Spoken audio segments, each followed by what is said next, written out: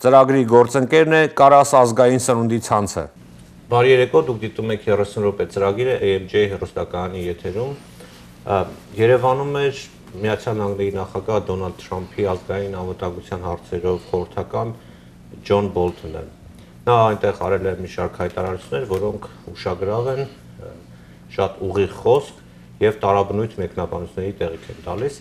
թե ինչ է թաքնված այդ հայտարարությունների տակ եւ ինչ հերանեկարներ են սպասում ինչպես Հայաստանում, այնպես էլ տարածաշրջանում։ Այսօր մենք կքննարկենք իմ գործընկերների հետ լրագրող Նայիրի Բադալյան եւ ռազմաքաղաքական մեկնաբան Մնացական Խաչատրյան։ Բարի երեկո, շնորհակալություն պարոն։ Շնորհակալություն հավերի համար։ Եվ այսպես թեև այցը տարածաշրջանային բնույթ էր կրում, բայց կարծես թե առաջին բարձր աստիճանի շփումն էր Միացյալ Նահանգների եւ Հայաստանի միջեւ։ Այդպես կարող չէ ձևակերպել, որովհետեւ նախկինում պաշտոնական շփումներ չեն եղել։ Թեև Բոլթոնի այցին նախորդել էր նաև Ռուդի Ջուլիանի այցը, որը կարծես թե այդքան ուշադրության չարժանացավ, քանի որ այն պաշտոնական բնույթ չէր կրում, բայց մենք գիտենք այստեղ, որ Ռուդի Ջուլիանին ոչ պակաս ազդեցիկ մարդ է, այսպես ասենք, ամերիկյան քաղաքական կյանքում եւ հատկապես հիմա նա Թրամփի այսպես ամենավստահելի մարդկանցից մեկն է եւ հավատարիմ մենք դա տեսանք ընտրությունից առաջ Եվ այսպես, ինչպես է գնահատում հանդիպումը, նախ այսպես ասենք, այց ընդհանրապես եւ Հայաստանի իշխանությունների չփումը։ Հետո կմանրանանք կոնկրետ հայտարարությունների մասով։ Այդ այցը, եթե թույլ կտակ, ասենք պետք է գնահատել այսպես համալիրի մեջ, այսինքն ոչ այդ տեղի ունեցավ հանդիպում Պուտինի հետ։ Այո։ Այսինքն Միացյալ Նահանգների կողմից կատարվում է, այսպես ասենք, բանագնացություն եւ հետախուզական այս միաժամանակ եւ բանագնացը գիտեք որ սպիտակ դրոշով գնում են հակառակորդի ճամբարը այս դեպքում ինքը գնաց այդ սպիտակ դրոշով բայց ոչ թե հանձնվելու այլ կոնկրետ առաջարկներ անելու հավանաբար Պուտինին, որտեղ դա շատ կարևոր խնդիրներ է շոշափել ամենայն հավանականությամբ եւ ինքը խաղաղության աղավնի չէ բոլորս գիտենք որ բազեներից է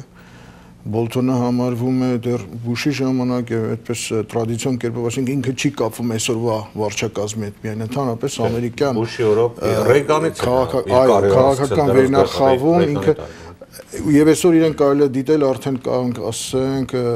Թրամփի ոնց որ ռազմական կաբինետի կազմավորման առաջի ցիցեռնակներից մեկն է ինքը։ Իդեպ ես հիշում եմ, որ հենց իրեն էին ուզում առաջին պետքարտուղարը նշանակել, բայց այնուհետև տարբեր քննարկումներ։ Ինչևից է ինչ է ստացվում, տեսեք Պուտինի հետ այցը, ուրեմն կոնկրետ դրվում է իմիջիալը շատ ազնվորեն Միացյալ Նահանգները կարծես վերջին կամ նախավերջին կամ չգիտեմ որ իրոց զգուշացումն են արդեն անում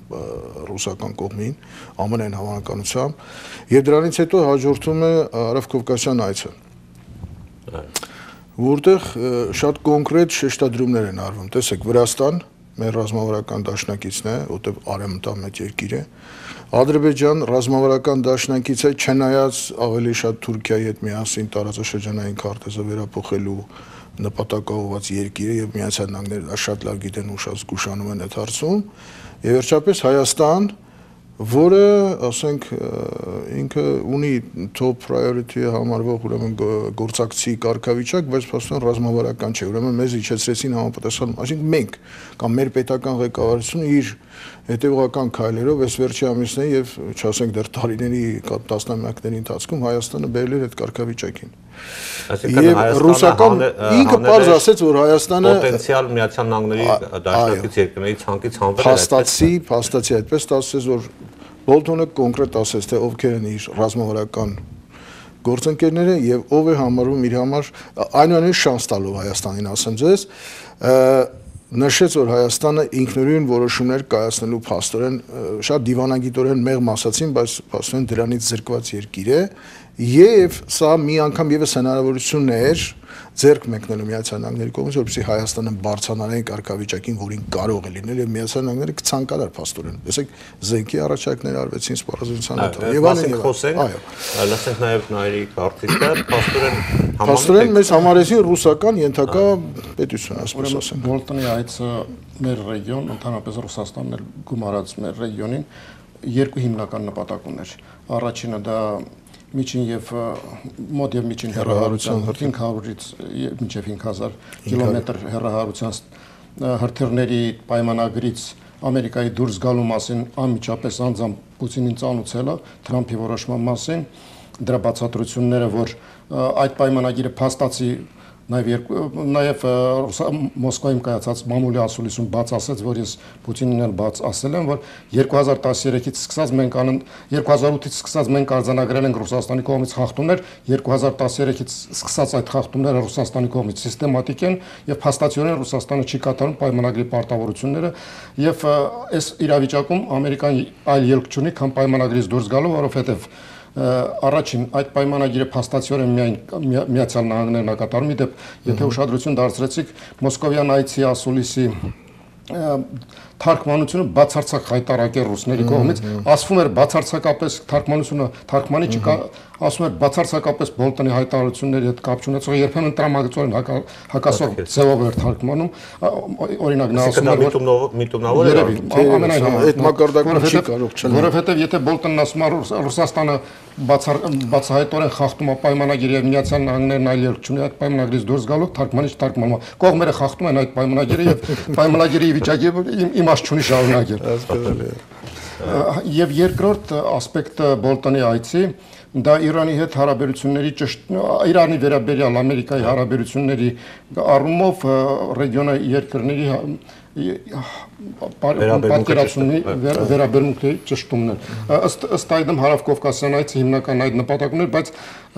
շատ հետաքրքիր զարգացումներ ստացավ Հայաստանում կարելի ասել նույնիսկ անսպասելի հայտարարություններ արեց նույնիսկ Հայաստանին բաց տեքստով հայտարարվեց, որ Հայաստանին տալիս են միջև առաջիկա պարլամենտական ընտրությունները ժամանակ, թույլ են տալիս, այսինքն համարում են, որ առաջիկա պարլամենտական ընտրություններում վարչապետ Փաշինյանը կստանա բարձրագույն լեգիտիմության հնարավորություն, որը նրան որը թույլ կտա այսուհետ ազատ գործել երկու, այսինքն ցանկության դեպքում ազատ գործել երկու հանգամանքում։ Մեկը Ղարաբաղյան խնդրի լուծումն է, որտեղ Բեյքերին մեկ վերեց, ասելով որ Բեյքերը մեկ այլ հակամարտության վերաբերյալ հավանաբար ենթադրաբար դա Պաղեստինա-իսրայելական կոնֆլիկտ է, որ որտեղ Բեյքերը ասել էր, որ մենք չենք կարող ավելի խաղաղասեր լինել, քան թե կողմերն իրանք են ուզում այդ ավելի շատ խաղաղություն ցանկանալ այդ այդ կոնֆլիկտում, քան թե կողմերն իրանք։ Այսինքն կողմերը պետք է փորձեն գտնել խաղաղության եզրը եւ երկրորդ ասպեկտով էլ բաց տեքստով բացարձակ անսպասելի մի հայտարարություն արեց որ առաջիկա ընտրություններից հետո ամենա հա, մենք սպասում ենք որ Հայաստանը ավելի դրսևորվի միջազգային ասպարեզում այսինքն որպես անկախ երկիր Երևա մի այս հայտարարության ենթատեքստն այն էր որ առ այսօր մենք Հայաստան անկախ երկիր չենք։ Դե այնտեղ այսպիսի մի արտահայտություն էր արել Բոլթոնը, որ պետք չէ տրվել պատմությանը, թե պատմությունը շատերը դա մեկնաբանում են ցեղասպանության առնչությամբ, բայց դա իրականում ես ենթադրում եմ որ խոսքը Ռուսաստանի հետ պատմական հարաբերությունն է։ այդ կոնտեքստում էլ ասում էր, ոչ մենք հասկանում ենք Ռուսաստանի ներգրավվածությունը, հենց այդ կոնտեքստում սա տեղափոխվեց Զենքի առևտրի մասին, հստակ ասելով, որ քանի դեռ Ռուսաստանը ապահովում է Հայաստանի կոնֆլիկտի կողմերից Հայաստանի սպառազինությունը եւ Ադրբեջանի սպառազինության առնվազն 80%-ը այդ կոնֆլիկտը լուծում չունի, քան որովհետեւ Ռուսաստանը Ռուսաստանին ձեռնտու չի այդ կոնֆլիկտի լուծումը։ Այսինքն եկեք գնացեք փորձեք մրցակցության մեջ է մենք մեջբերում արած մենք ամերիկացիներս զարգացումը տեսնում ենք մրցակցության մեջ գնացեք ուրիշների զեն գնեք եւ կտեսնեք որ եւ վերջացավ փաստացի ըստ ենթատեքստի եւ Ռուսաստանի ֆինանսական նպատակահարմարությունը այդ կոնֆլիկտի վերանա զենք ծախելու առումով կոնֆլիկտն շատ ավելի հեշտ կլուծվի Եվ առաջարկեց կապված ես կուզեի լսել պարոն Խաչատրյանի բարձր որպես ռազմական փորձագետ։ Ես փորձեմ դա ասել, բայց մի բան ուզում եմ նաև շարունակելով մեր Արգարժան Հարիբադալյանի մտքի տրամաբանություն, տեսեք ինչ կա Հայաստանը, այսպես ասենք, հիմա կանգնած է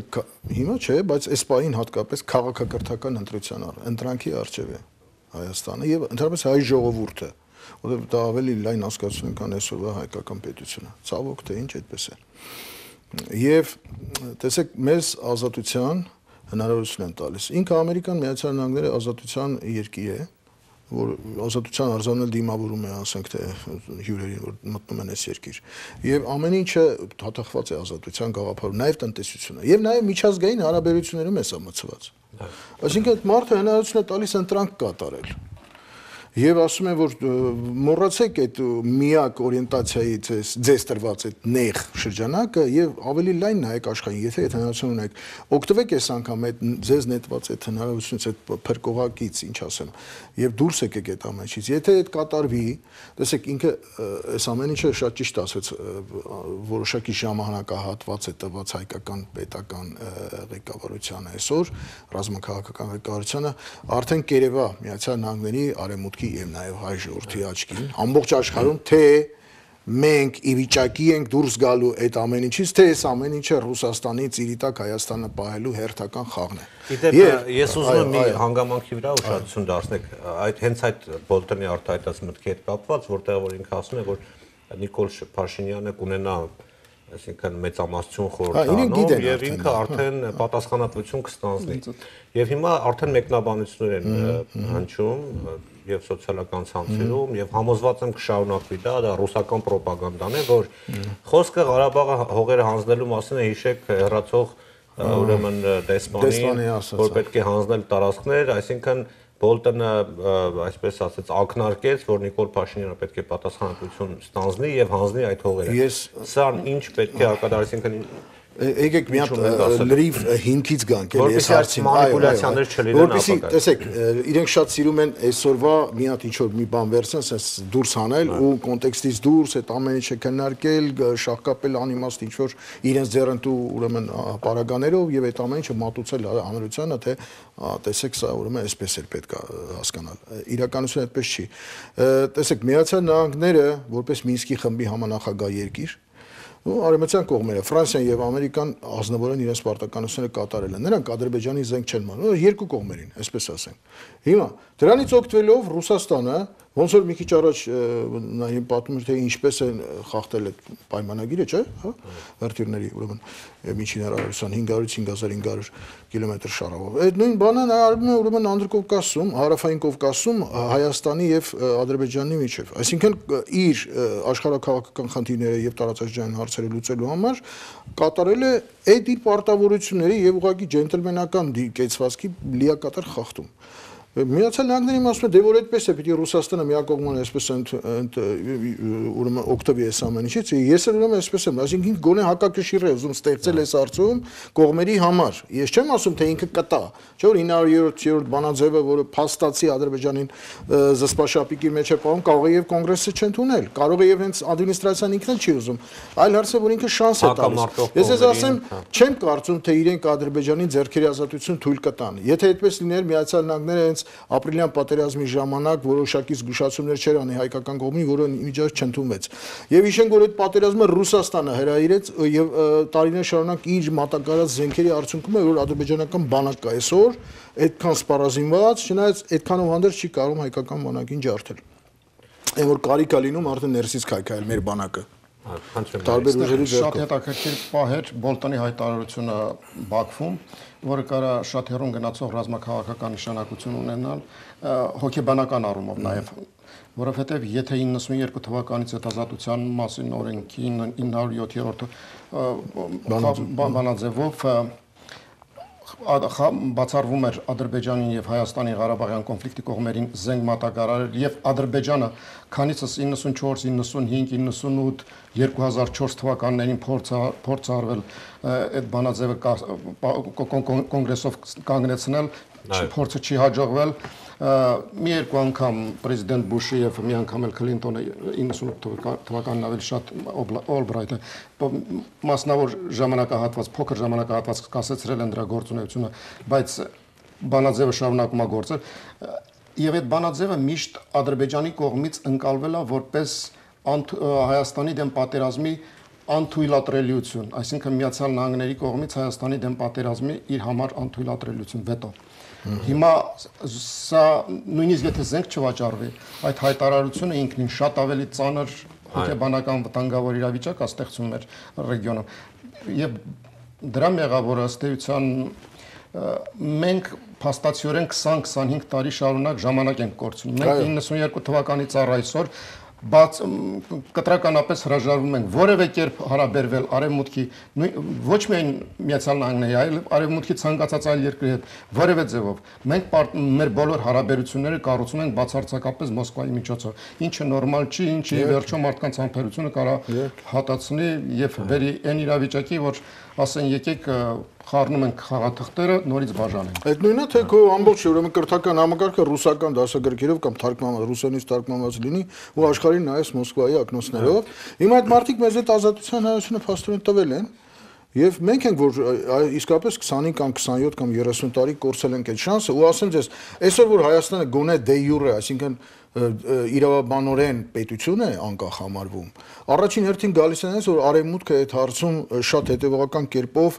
կանգնած է հենց մեր ազգային շահերի պաշտպանության դիրքում, որ մենք այդքան չենք պաշտպանում ինչ կա։ Այնպես որ այդ նույն ամերիկյան դեսպանություն եւ արևմտյան դեսպանությունների արկայությունը, նրանց փաստացի միջամտություն եւ մնացած խնդիրները, որոնք ստիպում են Ռուսաստանին ուրեմն հերրու պահել իրեն այդ գայթակղությունից, որ հայկական պետությունը մի հատ Օսիայի կամ Աբխազիայի պես կուլ տա։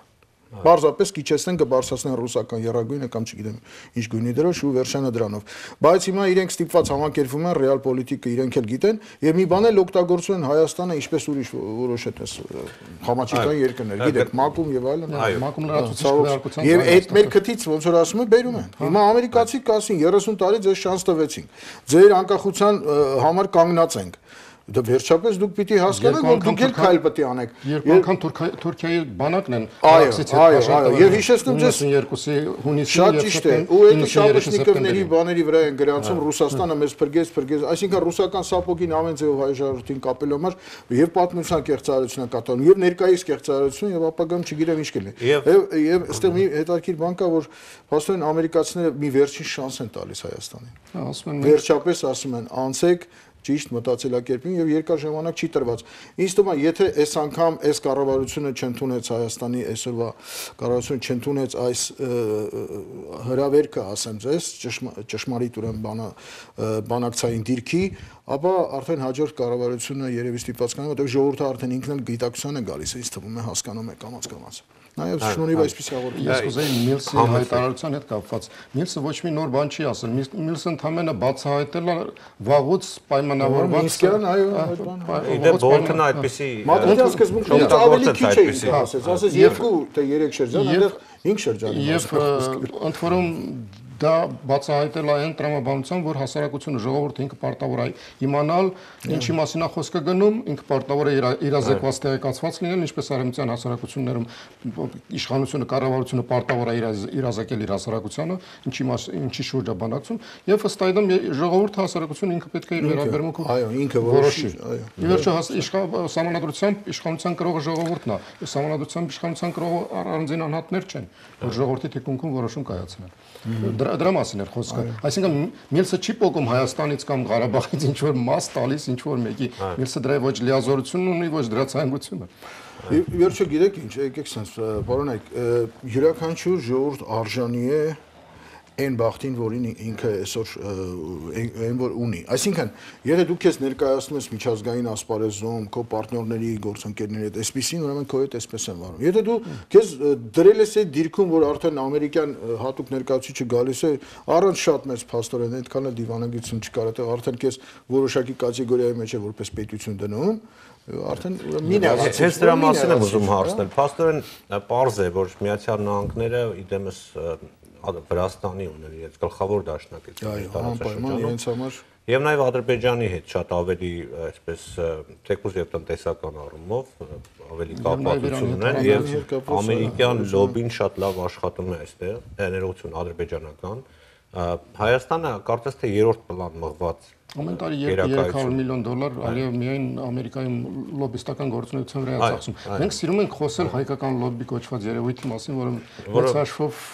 ոչինչ ոչ Ոչինչ չէ, այո։ բացի նրանից, որ մի- ինչ որ միջոցառումներ ա Ցեղասպանության։ ցեղասպանության հետ կապված, որը որ ը, ակտուալ օրակարգ չի մեծ հաշվով։ Տեսեք, մենք եւ համայնք, էներգիան որը կարող է սպառվում է, ռեսուրսները եւ էներգիան սպառվում է ցեղասպանության վրա։ ունենա այսօր, որոնք դառնան իսկապես հա- այդ նույն Հայաստանի եւ հաջորդի լոբիստները Միացյալ Նահանգների տարբեր ատյաններում այդ մեծ առիթից չեն օգտվում։ Դրսից նայում ենք Ադրբեջանը փողերը ներդում։ Բնականաբար ինքը այդ հնարավորությունը դա է անում։ Եթե ունենար մերպես 3 միլիոնից համայնք ԱՄՆ-ի ներսում, ինքը վաղուց հաստատ գիտե որ կունենար կոնգրեսմեններ, սենատորներ եւ շատ քաղաքապետեր, նահանգապետեր, դատավորներ, շերիֆներ, Հայաստանը չունի, բայց Սփյուռքը ունի։ Իսկ Սփյուռքի ռեսուրսները այսպես ասած խնդիրը որպես ձևակերպակ չունի։ Մեզ համար մի խնդիր գոյություն ունի։ Վերադարձնել ներողություն արտահայտությանս համար վերադարձնել արեմտա Հայաստան։ Եղբայր, վերադարձրեցիր, վաղ վերցրեցին ասցին քոննա, գնա ապրի։ Բնակիչնով է պետք, մոդել է պետք պետական։ Միայն հողերով չի։ Հարցեր կան։ Այս հողը չի այսօր 21-րդ դարի զարգացման պարադիգմա հողը չի, վաղուց դու Շատ լավ, դա այլ այլ թեմա է, դարքիր թեմա է, միգուցե առանձին քննարկման ենթակա, բայց հիմա վերադառնանք Բոլթոնի այցին եւ ամերիկյան քաղաքականությանը մեր տարածաշրջանում։ Դրա մասն եմ կարծում, բայց շարունակելով ձեր միտքը, Պաստորեն Հայաստանը երրորդ պլանում, բայց տեսեք Բոլթոնը այսպեսի գուցե բառացի մեջ վերումը չանեմ, բայց այսպեսի միտք էլ հայտնեց, որ Թրամփի ադմինիստրացիայի համար, վարչակազմի համար Հայաստանը բարձր առաջնահերթությունների շարքում է։ Սա ինչպես կմեկնաբանեք։ Սա ըստ էության գալիս է նրանից, որ մենք անկախ մեր կամքից, անկախ մեր բոլոր գործողություններից արևմուտքում ընկալվում ենք որպես արևմտյան քաղաքակրթության մասնիկ։ Այսինքն իրանք մենք մեզ չենք համարում իրենց մասնիկը, մենք համարում ենք, որ մենք Ռուսաստանի փոքր եղբայրն ենք բայց արևմուտքը համարում է որ սա մեր օրրանն է։ Այս դեմոնստրացիաները չէ։ հա, Դրա մասին է խոսքը Հայաստանը, Հայաստանը որպես պետություն։ Հայ ժողովուրդն էլ չեմ ասում, Հայաստանը որպես պետություն 25-30 տարի միշտ համարել է որ ինքը չկա արևմուտքում ինքը Ռուսաստանի ԱՊՀ-ի ԵԱՏՄ-ի եւ այլ ինչքան անհետ անիմաստ կառույց կա դրանց անդամն է անդեմ արևմտյան քաղաքակրթության, բայց արևմտյան քաղաքակրթության կրողները նույն Տրյուդոն, նույն Մակրոնը գալիս են Երևան, իրանք իրանք զգում են որպես իրանք տանը։ Իրանք ազատ ազատ են զգում։ Այսինքն եւ եթե նկատել եք նրանց ֆրանկոֆոնիայի ժամանակ Հայաստանի ժողովրդի եւ ընդհանրապես իշխանության նաեւ վարչապետի անբռնոզ բռնոզ բոսիկ պահվածքը շփումը, որովհետև դա ներքին նույնականություն է, ընդհանրությունների մասին է խոսում։ Եվ նույն վարչապետին նայեք ԱՊՀ գագաթաժողովներում նրա կաշկանդվածությունը, նրա մեկուսացվածությունը, որովհետև դա նրանը չի կարգեր են որովհետև մենք նրանցը չենք, մենք այստեղ ենք։ Եվ արևմուտքը մեզ տեսնում է իրականում այստեղ։ Դրա համար մեր կամքին հակառակ մեզ շարունակաբար փրկել են։ Բայց ինչ Այդպես է, ես ուզում քանի որ ասացիք փրկել է, հիշեցնեմ որ Միացյալ Նահանգները շուտով մի մեծ իրադարձության մասնակից պիտի դառնա նախագահի մակարդակով Ֆրանսիայում եւ իդեպ Պուտինին էլ հնարավիրել նոյեմբերի 11-ը իդեպ 18 թվականի 100 տարին է լրանում առաջին համաշխարհինի, որին արեմետյան գրականության պատմության մեջ անվանում են մեծ պատերազմ, Great War։ Դրա ավարտը նշվում է որպես մեծագույն հաղթանակ գիտեք Ֆրանսիայում է նշվելու որտեղ որ կայացավ այդ ստորագրումը դա եւ այստեղ մի շատ կարեւոր հանգամանք. Հենց միացյալ նահանգների մուտքն էր այդ պատերազմի մեջ 100 տարի առաջ որ ավարտ դրեց այս ամեն ինչին։ Այսինքն 17 թվին նրանք մտան պատերազմի մեջ, համարյա մի տարում ավարտվեց։ Այսինքն կշերքի նժարին դրվեց մի ծանր ուժ, որը հաղթանակի, ուրեմն նժարը թեքեց արևմուտքի կողմը։ Սա մեկ։ Իսկ հակառակ դեպքում դու գիտեք ինչ է լինելու, հատկապես որ այն մյուս կողմում Գերմանիա, Թուրքիա, լավ գիտեք, Ավստրիա, Բուլղարիա, այսինքն հայ ժողովրդի համար դա վերջ է լինելու։ Մեկ։ Եվ Միացյալ Նահանգների այս մեծ հաղթանակի կողքին ես ուզում հիշեցնել, եւ նաեւ կարող է գնալ են ձեր ասացի կոնտեքստի մեջ, պարոն Բադալյան, որ հայ ժողովուրդն էլ հսկայական ներդրում ունեցավ այդ հաղթանակի մեջ արևմտյան կողմի, տեսեք ինչպես սա չեն ասում, բայց մեր շատ հարգելի գործընկերներից ռազմական պատմաբան Ռաֆիկ Թադևոսյանի գրքերը, եթե ուսումնասիրվեն եւ այժմ վաղուց արդեն հանգուցալ գնդապետ Հարությունյանի, նույնպես ռազմական պատմաբաներ, բայց խորհրդային ժամանակներում, ուրեմն տեսեք, հայ ժողովուրդը 9 ամիս միայնակ Այն դեպքում, երբ որ Ռուսաստանը իր այդ ամբողջ փառապանց իբր թե կարմիր նոր ստեղծված գվարդիայանը պիտի պայքար դուրս եկա պատերազմի շփատներ անգամ չթեվեց դիմադրությունը գերմանա-թուրքական բլոկի դեմ, միայնակ իր նորաստեղծ հայկական բանակային կորպուսով եւ այլ կամավորական զորամասերով երզնկայից Արևմտյան Հայաստանի ամենածայրամասային այդ պայքաղաքն է մեր ձեռքին էր, մինչև Բաքու 9 ամիս պայքարեց եւ գերմանա-թուրքական բլոկը չստացավ այն ինչի համար նրանք կռվում էին Բաքվի նավթը Իսկ այն ժամանակ գիտեք Բաքուն այն ժամանակ ոչ Պարսից ծոց ա եղել, այսինքն հայերը տիրում էին այդ պահին այդ քաղաքին, որը աշխարհի համաշխարհային նավթարդյունաբերության կենտրոնն էր։ Եվ գերմանակ-թուրքական բլոկը չստացավ դա, եւ գերմանական բանակները ի զարմանաս իրենց որ կանգնած էին Փարիզի պատերի տակ, այդտեղ պարտություն կրեցին, որտեղ գերմանական մեխանիզացված բանակը, ավիացիան եւ նավատորմը կարիք ունեին այդ արյան, որը կոչվում էր նավթ, ու նրանք դա չստացան։ Եվ դա շնորհիվ հայ ժողովրդի 9 ամսյա հերոսական պայքարի էր, որ ասեմ, որևէ մեկի հետ համատելի չի։ Ու հիշեցնեմ, ստեղ մեր հակառակորդ բլոկի ամենամեծ զորավարներից մեկի գեներալ ֆոն Լյուդենդորֆը, գեներալ ֆելդմարշալ Հինդենբուրգի տեղակալը, գլխաշտաբի տեղակալն էր նա Գերմանիայի։ Ինչպես նա Հիտլերի հետ միասին Բավարիայում ապստամբությունից եւ ֆաշիստների հետ միասին իշխանության էր ուզում գալ։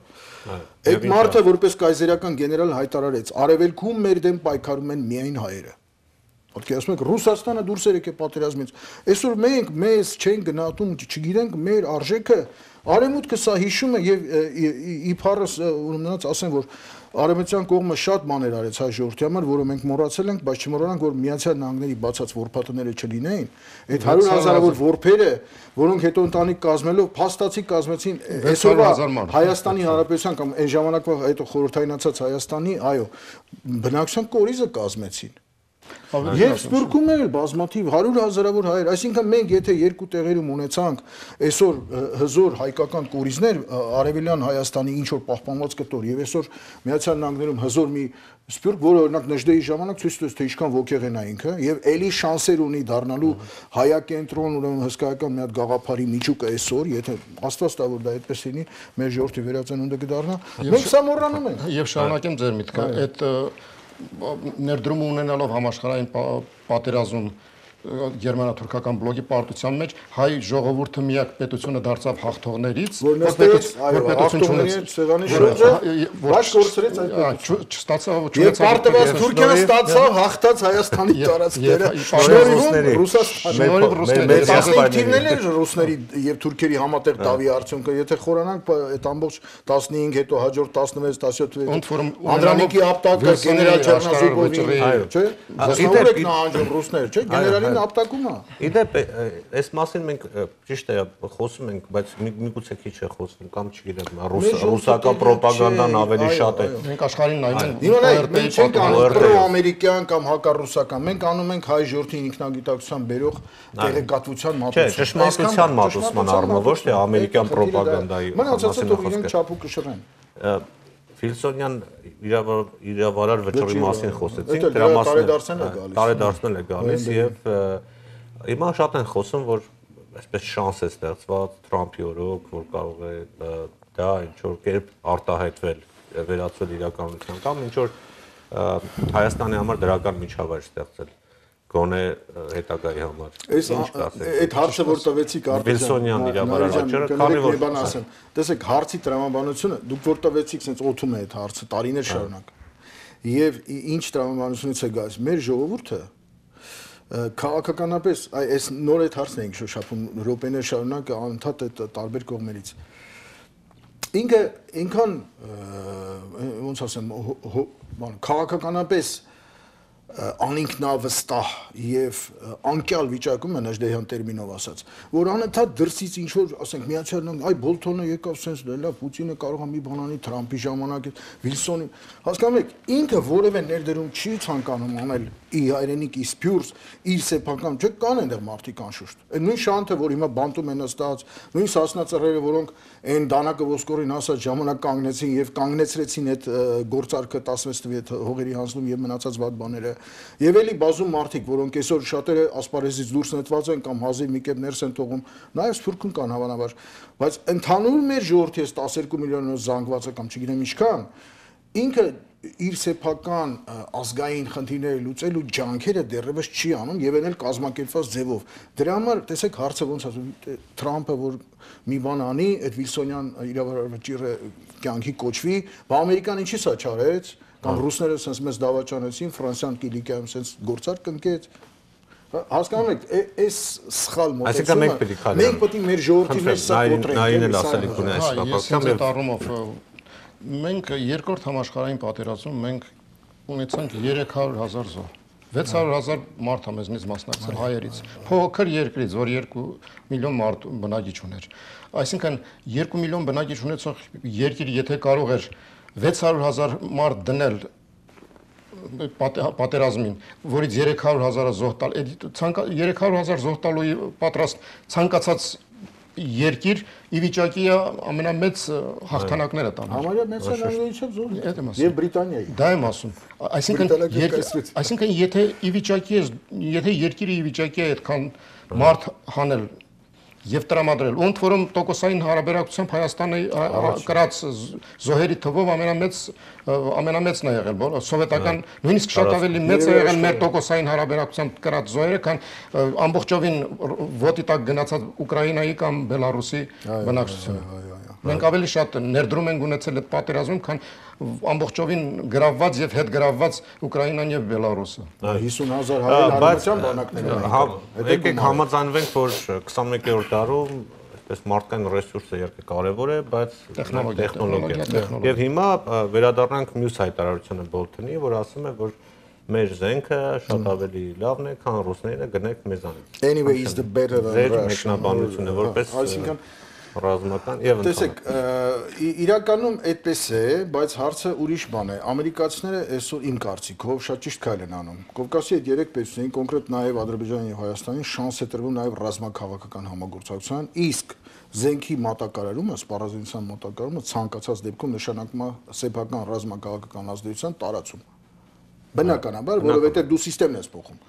Եթե զինահամակարգը փոխում ես, փոխում է տակտիկան զորքի ուզես չուզես դա այդ փոխվում են բազմաթիվ այլ խնդիրներ ենթակառուցվածքներ ասես զինված ուժերում ամբողջ ստանդարտներով եւ այլն եւ ի վերջո գալիս է ուրեմն ու- ուստավները բան իմջոց նաեւ մտածողությունը շատ-շատ բան կփոխվի եւ բնականաբար քաղաքական հայացքներ ու ամեն ինչը ուրեմն կգան արդեն նոր համակարգի դա պետք է նայել անշուշտ, փոփոխությունների եւ Այստեղ պետք ենթատեքստում։ նայել այնպես որ Ադրբեջանին կզինեն, մեզ չեն զինի կամ մեզ շատ կզինեն Ադրբեջանին։ Իրենք բալանսը պահելու են, որտեղ մինչև մա 30 տարի հասան տեսնում ենք որ հենց Ամերիկան է պահել բալանսը։ Նոր հիշատակեց մեր հարգարժան գործընկերը, որ ա- ամերիկացիները քանի անգամ թուրքերին զսպել են։ Հա։ Այն ինչ որ չէր հաջողում, ասենք Իրաքի կամ Սիրիայի դեպքում անել, Հայաստանի դեպքում իրենք կարողացել են անել։ Եվ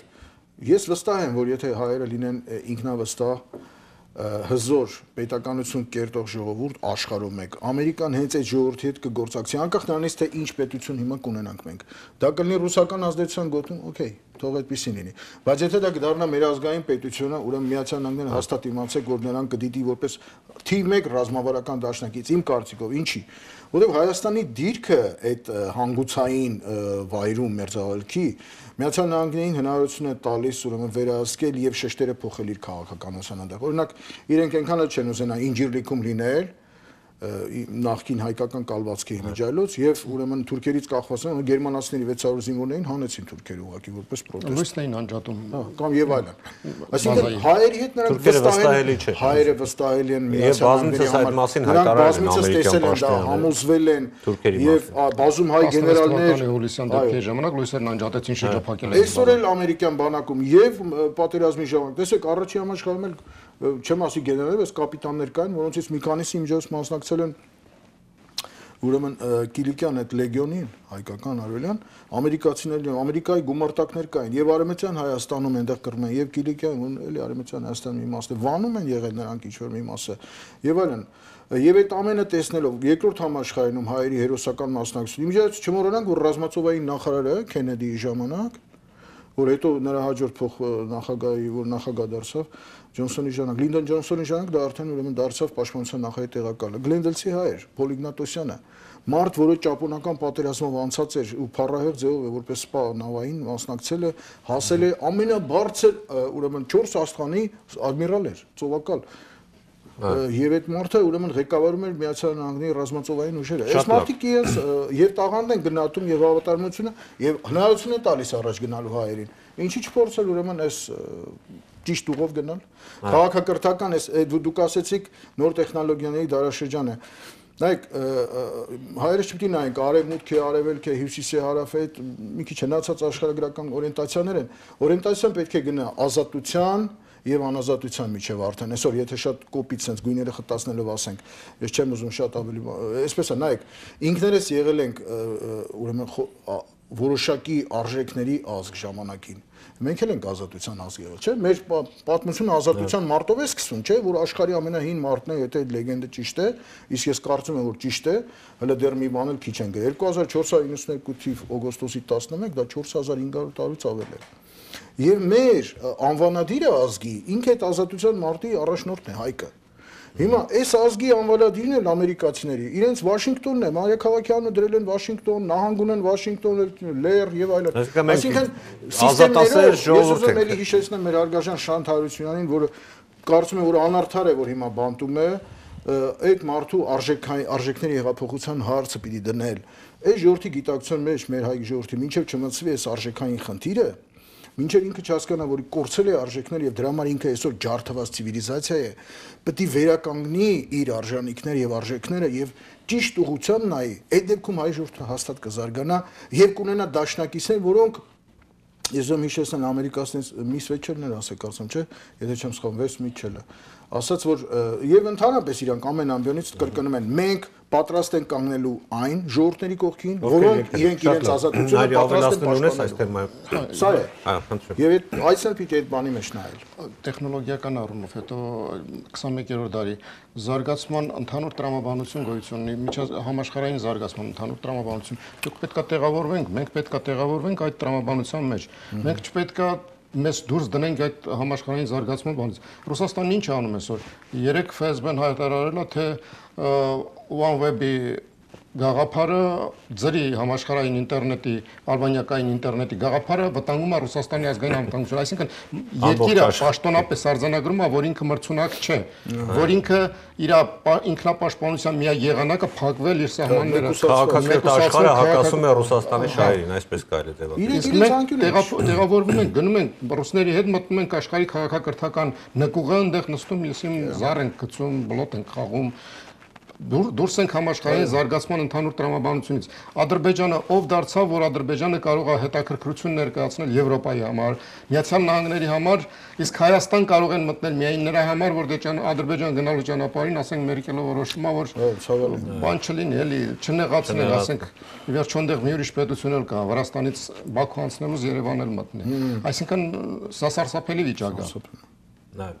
Լավ, հիմա հիմա դուք մի բան էլ հավելեմ այդտեղ։ Տեսեք, Միացյալ Նահանգները այսօր երկրագնդի մասշտաբով չի մտածում։ Հապես արևմուտքի երկրները, եթե մենք ճիշտ նայենք իրենց, շատ լայն մտահորիզոն ունեն եւ այսօր մարդկության ապագան են կերտում։ Այդ արհեստական ինտելեկտը, բիոռոբոտները, չգիտեմ, արհեստական տարբեր սննդամթերքները եւ այլն բժշկամիջոցները, կլոնավորում եւ ինչը ամբողջը խնդիրը դեսանտ իջեցնել այլ մոլորակներ կոնկրետ մարսից են սկսում եւ փաստորեն մարդկության եւ ընդհանրապես կյանքի որպես բիոլոգիական երևույթի շարունակման խնդիրն են մարդիկ լուծում այս մարդիկ մտածում են դե որ Ռուսաստանը չունի երկրագնդի հենացած այսինքն դնեն ոչնչացնեն տեսեք հակառակ մտածելակերպ է այստեղ մարդիկ ուզում են տիեզերք նվաճել մարդկային քաղաքակրթությունը տարածել կոսմոսով գալակտիկաներով Ռուսաստանում դա համարում են իրենց դեմ։ Սա էլ ասում են համացանցը կլինի, այսինքն մեկուսաս է։ Եվ ոնց կարելի է քաղաքակրթական այս սխալ ընտրանքի մեջ լինել, ասեմ ձեզ, տեխնիկական մի ուրեմն գույրաղիք է Ռուսաստանը այսօր։ Հիշեք, որ իտալական Fiat-ով են դեռևս իրան Ժիգուլին կառուցում։ Ուրեմն գերմանացիներից վերցված են M-կաները, որ մինչև նա շարունակվում է դրանցով էլ Volga եսի ինչ բան։ Ամերիկացիներից ստացած հիշում եք այն ժամանակվա Studebaker-ների մոտորներ բան, ու Willys-ները, չէ, անունը անգամ մնացել է UAZ-ների եւ այլն, այդպես գնաց։ Այսինքն ամբողջը գողացված տեխնոլոգիաները, այդ ու նաեւ ատոմային պրոյեկտը, որը ցավոք մեր հայ հայրենակիցը Նյու Յորքում ռեզիդենտը ինքն է եղել, տեղ հայկական հետախուզական տաղանդ օգտագործել են, դա դրա պրոյեկտներ են գողացել։ Հասկանում եք, միջուկային զենքներ իրենք չեն։ Կալաշնիկովի ավտոմատը, որ ասես գովում են, Շմայսերի արդյունքը չի, այսինքն ամբողջ գերմանական արդյունաբերությունը ժամացույցի բանից սկսած տարել են։ Հիմա լավ, այդ մարդիկ չեն կարող զարգանալ, կոպիա գողանալ, կոպիա գողանալ, ուրիշ բանի վիճակի չեն։ Ուր գնա Հայաստանը դրանց հետ։ Եթե նրանք մեր տաղանդների շնորհիվ են ուզում զարգացնել, եթե մեր տաղանդերով ինքներս համաշխարհային քաղաքակրթության հազար կտանք, Ինչ են մեզ փակուղիները։ Հասկանալի է հիմա վերադառնանք նորից Բոլթոնի նա խոսեց նաև միջավայր չմոռանանք ռուսները որ այդքան գովում են իրենց երկիրը նայեք իրենց քաղաքական վերնախավը տնտեսական վերնախավար, որտեղ են սովորում իրանց երեխեքը, Նահանգները, որտեղ են պահում իրանց փող, Նահանգները։ հենց նաև Միացյալ Նահանգներում, այո, իրենց հակացը նայեք, իրենց քշած մեքենաները, իրենց երազանքները, իրենց հանգստացած տեղերը եւ այլ ամբողջ արեմության, բայց արեմուտքը փտած է, ոնց հասկանանք։ Լավ, ոնց կարելի է այսքան խափնվել այդ ուրեմն այդ իրենց KGB-ական այդ ողորմելի ուրեմն հեքիաթներով։ Ես մեր ժողովրդի վերաբերյալ մի բան էի ուզում ավելացնել։ ուզ արեմության ազատությունը, արեմ ազատությունը նշանակում է պատասխանատվություն։ Ազատությունը նշանակում է ընտրության հնարավորություն։ Ունես ընտրության հնարավորություն, կատարում ես ընտրություն եւ կրում ես այդ քո կատարած ընտրության պատասխանատվությունը։ Այսինքն մենք պետք է հասկանանք, որ ընտրությունը հենց այնպես չի լինում։ Ընտրությունը ենթադրում է քո կատարած ընտրության համար պատասխանատու լինելու պատասխանատվության կրում։ Այսինքն մենք պետք է ընտրություն կատարենք այն ընտրություն այն հերանեկարով, որ դա մեր համար անպատասխանատու սարսափելի հետևանքների չհանգեցնի։ Այսինքն ին- ինքնանպատակ չի ցանկացած քաղաքակրթական ընտրություն։ Այո, այո, անշուշտ։ Հիմա տեսեք, Միացյալ Նահանգները փաստորեն սանկցիաներից հետո հիմա նոր թափով նոր սանկցիաներ է, այսպես ասած, Որոնք ուղեկցում են ռազմական միջոցներով, տեսեք։ այո, Ռուսաստանի դեմ։ ՆԱՏՕ-ի Այսինքն ամենամեծ Ռուսաստանը վերջին 30 տարում ՆԱՏՕ-ի ամենամեծ զորավարժություններն են սկսում։ այո, Սկսվում։ Ամսի 27-ից մինչև նոյեմբերի 7-ը։ եւ ա, Ռուսաստանի վիճակն եմ ուզում նկարագրենք, հասկանանք, այսինքն նրան ամբողջությամբ այսպես մղում են դեպի անկյուն։ Ռուսաստանի- այդ դեպքում չեք կարծում, որ շատ ավելի վտանգավոր է դառնալու Ռուսաստանը, հատկապես Հայ- Հայաստանի նկատմամբ, եթե նա փորձի օրինակ չանել այն, ինչ որ արեց, ասենք, մեկ մի քանի ամիս առաջ, օրինակ զորախումբ ուղարկել Սիրիա, Ռուսաստանի հետ միասին իդեպ Բոլտոնը դրա մասին էլ ասաց եւ ճիշտ է շատ կոպիտ չասած, բայց Շատ կոպիտ ասած, շատ կոպ- կոպիտ ասած։ որ Դիվանագիտական լեզվով Հա, շատ հստակ ասած, որ Սիրիայում գոյություն ունեն 7-8 կողմեր, ռազմաքաղաքական միավորներ, կողմեր եւ որևէ այլ կողմի ներկայացվածություն ընդեղ ներկայացուցակ ներկայացվածության կարիք այլևս Սիրիան չունի։ Այսինքն սկզբունքորեն մենք դեմ ենք ցանկացած այլ կողմի, մա- մասնակցության ցանկացած այլ ձևի, եթե դա ՄԱԿ-ի շրջանակներում չի կոպիտ Եվ ասած։ ը, կարծում եք այսքանից ելնելով, կարծում եք արդյոք Ռուսաստանը շատ ավելի կկոշտացնի առաջիկայում դիրքորոշումը իր ազդեցության ոլորտները պահելու համար, հատկապես Հայաստանի վրա, երբ որ ընտրություններ են սպասվում արչեվում, եւ ասեմ, գիտեք, սորաբար այդ քաղաքագետ կոչվածները ռուսական եւ այլն, իրենք մեծամասամբ, եթե ոչ ամբողջովին կապված են պաշտոնական տեսակ տեսակետների հետ։ Եվ մեկը հիմա անունը չեմ հիշում, հարցազրույցներից այս վերջին հարցազրույցում խոսում էր, որ օրինակ ծայրեղական թե ազգայնական ուժերի մուտքը ազգային ժողով, սասնածռերի եւ այլն կարող է վտանգել հայ-ռուսական հարաբերությունները։ Սա այսինքն իրենք արդեն իսկ պատրաստվում են դրան, որ չգիտեմ, այսինքն ազգայնական ուժեր չլինեն կամ իրենց ցանկալի ուժեր լինեն։ Այսինքն իրենք ավելի են կոշտացնելու վերաբերմունքը Մենք մի բան պետք է հասկանանք Հայաստանում։ Մեր արտաքին քաղաքականությունը, ես դա մի անգամ էլ եմ ես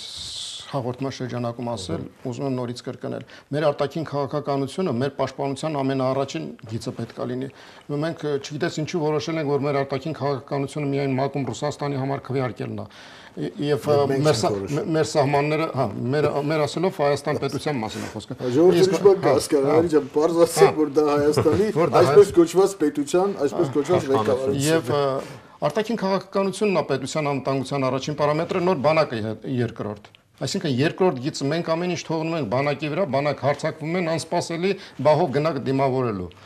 Այդպես չպետք է լինի։ Այսինքն արտաքին քաղաքական դովդ կարելի։ Ար- ար- Այսինքն վերջինը պետք է նա բանակը նետեսի։ արտաքին գործերի գործեր պետությունը պետք է լինի ինքնուրույն, պետությունը պետք է լինի ինքնիշխան, պետությունը պետք է ունենա սեփական շահերը սպասարկող արտաքին քաղաքականություն։ մենք ունենք այսօր այդ քաղաքականությունը հեղափոխությունից հետո։ Ցավոք չեմ տեսնում դեռ ես դրա նշանը։ Բոլտոնի այցը ինչ է ասում։ Բոլտոնը ուղղակիորեն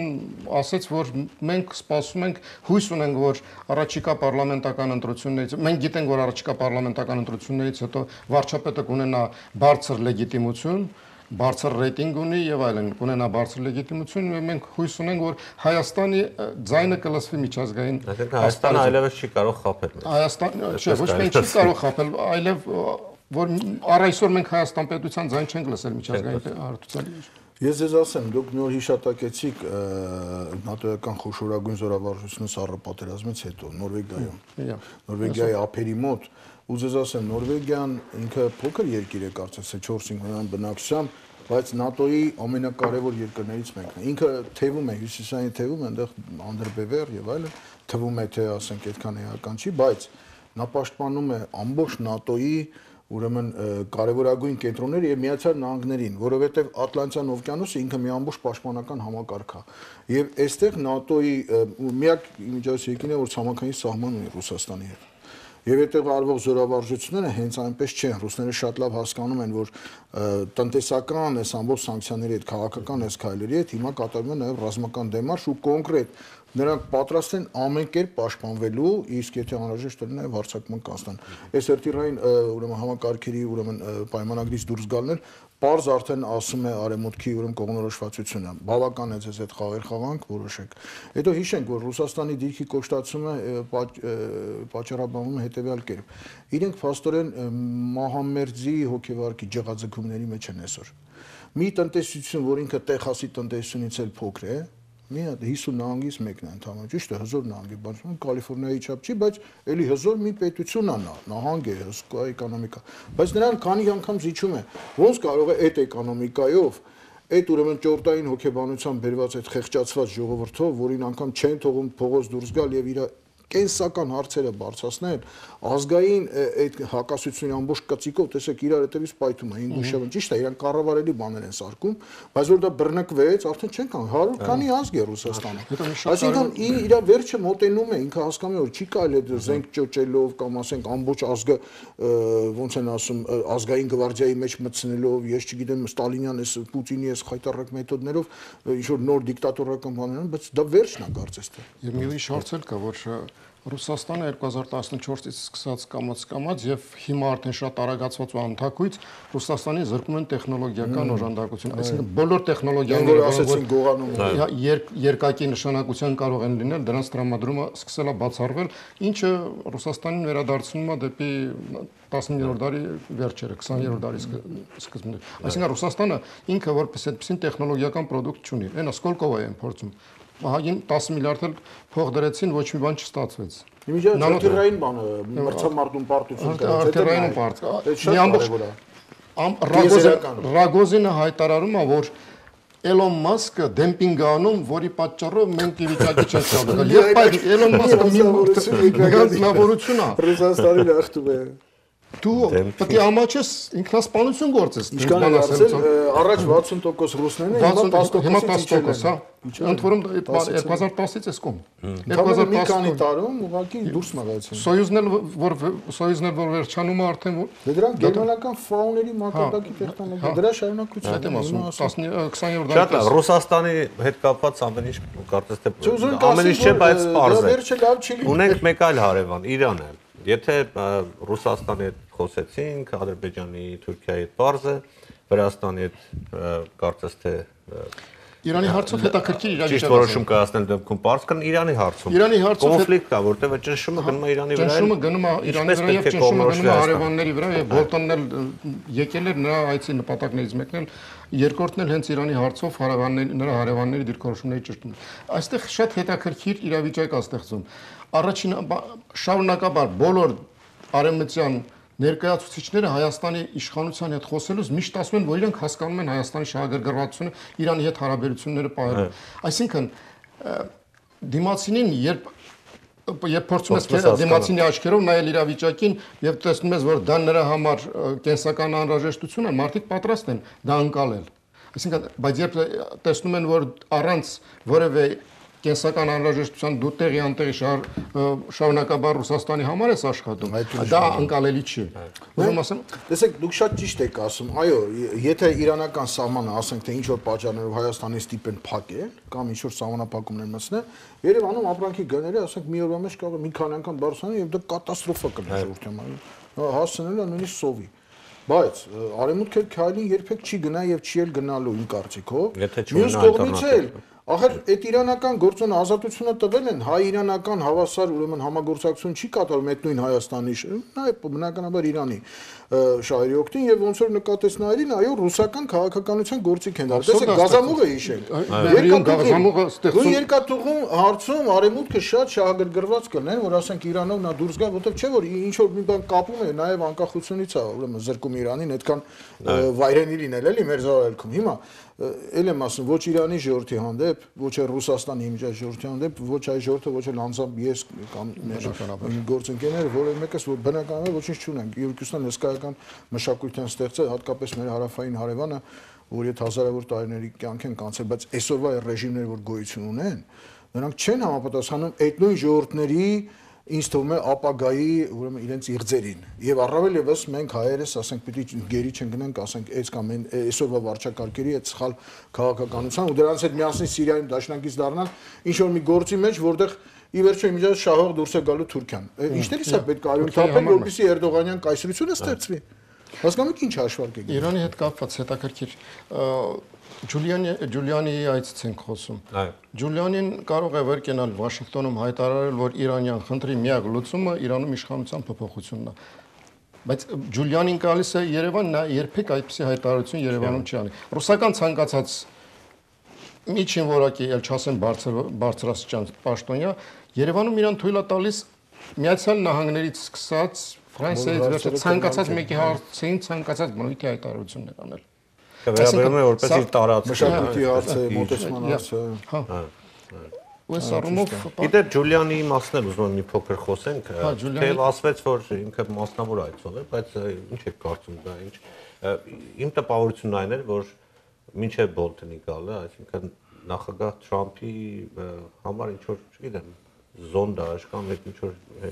Դες բոլոր հետախուզական այցեր են։ այդպեսի այց է։ բնականաբար այսպես Ցանկացած այցեր պատահական Որտեղ չեն։ Ջուլիանին շատ ազդեցիկ քաղաքական գործիչ։ Ջուլիանին եկավ հայտարարեց, որ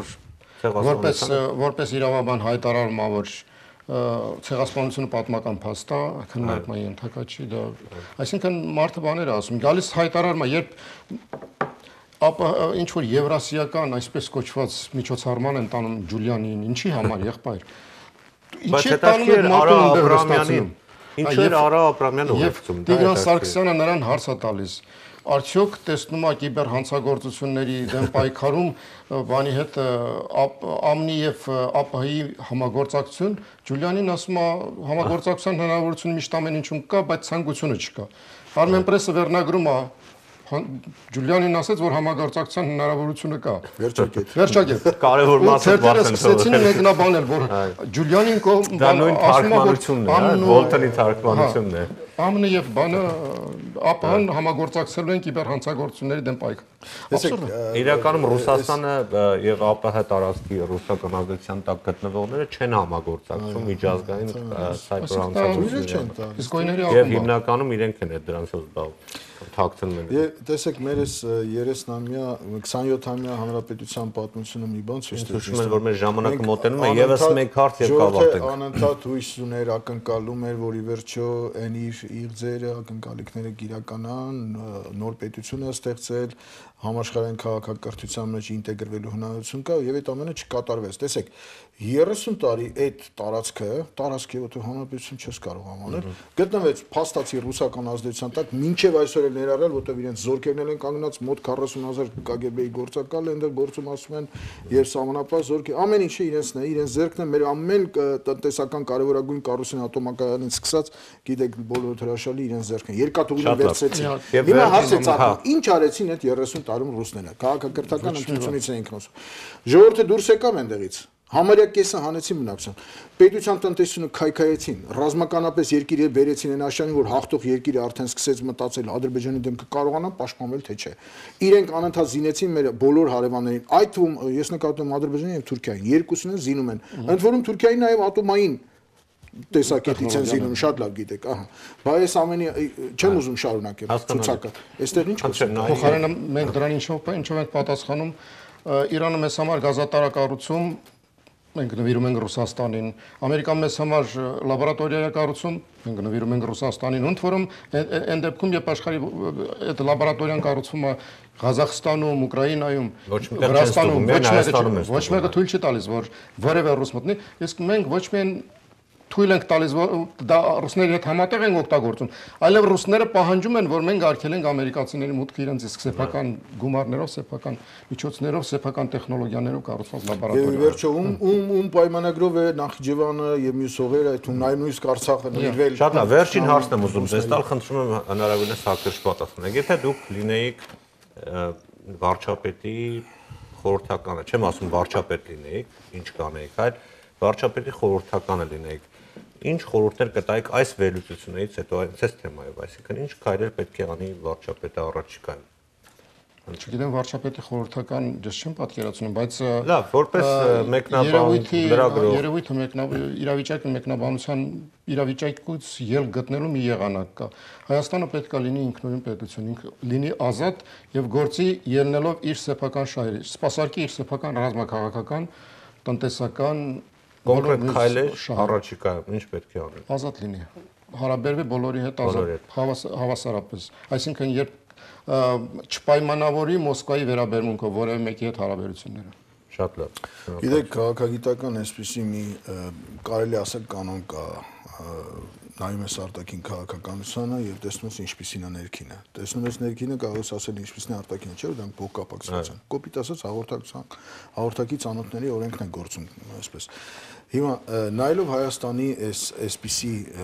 արտաքին քաղաքականությանը վստահ կարող եմ ասել այն ներքին քաղաքականության մասին ինչ էր որ ասվում է հիացական խոսքեր իբրև թե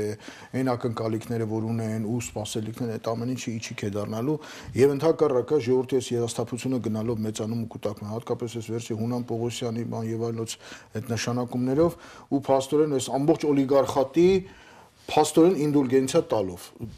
ինչ խորհուրդ այսքանից հետո վարչապետին Ես նկատնում եմ արտաքին քաղաքական եւ արտաքին եւ հայ-ամերիկյան եւ ընդհանրապես Հայաստանի Հանրապետության պիտի արմատական փոփոխություն կրի, բայց դրա համար իմ կարծիքով նորից հիշեցնեմ, պետքա արժեքային հեղափոխություն կատարվի Հայաստանում։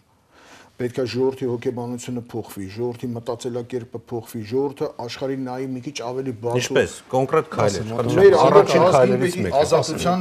ազատության ուղեկցել բոլոր առումների գաղափարական, գիտական, չգիտեմ, տնտեսական, իհարկե նաև քաղաքական։ Այս դեպքում այդ ազատ ընտրություններ կոչվածը ես չեմ տեսնում։ Շատերը ողջերված են Երևանի ընտրություններով, բայց եթե 80% է հավաքում մի ուժ, որի ղեկավարը ինչ որ Երևանի 2800-ամյակին համեմատում է մեր քաղաքը Բաքվի հետ կամ չգիտեմ, այդ մակարդակի Հասկանալի։ Հանրապես նախ պետք է հասկանալ ինչ ենք ուզում։ Դրվում է 15 տարվա, 20 տարվա հերանեկարում ինչ են, որպեսին ենք մենք ուզում տեսնել այս պետությունը։ 10 տարվա հերանեկարում որն է լինելու այդ մեր այն ծրագրին հասնելու ամփոփիչ վերջին նախա, նախադուրը։ Դրանից առաջ 5 տարում ուր պետք է հասած լինենք, որպեսզի մենք 10 տարում կարողանանք լինել այնտեղ, որպեսզի 20 15 տարում հանգրվանները Եվ դրանից ելնելով մենք որոշում ենք մեր արտաքին եւ ներքին քաղաքականությունը, այսինքն մենք պետք է մեր Առաջնահերթությունները Հա, մենք տեսլական ունենանք, մեր պատկերացումն ուն- ունենանք։ Ձեր կարծիքով այսօր կառավարությունը չունի այդ պատկերացումները։ ազգային նպատակ, դրա մասին է խոսքը ի վերջո։ Չունի։ Իր հանգրվանները։ Ես չեմ կարող ասել ունի թե չունի, բայց ցույց չի տալիս։ Եթե նույնիսկ ունի թակուն է պահում սրտի խորքում։ Եղավ, շնորհակալություն պարոնակ հետաքրքիր զրույցի համար։ Սիրելի բարեկամներ, շնորհակալություն մեզ հետևելու համար։ Իմ հյուրերն էին լրագրող Նայիրի Բադալյանը եւ ռազմաքաղաքական պատմաբան, մեկնաբան, վերլուծաբան, մնացական Խաչատրյանը, առայժմ։